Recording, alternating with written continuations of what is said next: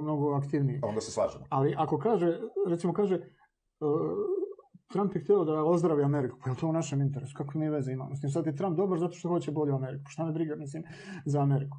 Ne, a mogu samo kažem jednu rečenicu po nas, samo jednu rečenicu. Trump je realista, a u međunarodnim odnosima realista je neko ko uvažava odnos snaga. Dakle, Trump nije jurišao da obori Putina ili e, ovoga, e, u Peking, već je uvažavao da oni imaju moć i pregovara sa njima. Dok demokrate imaju ideološku mantricu da su to nedemokratske države, da to ne treba da se obore autoritarni režimi i da sa njima ne treba ozbiljno pregovarati. Dobro, ja sam samo rekao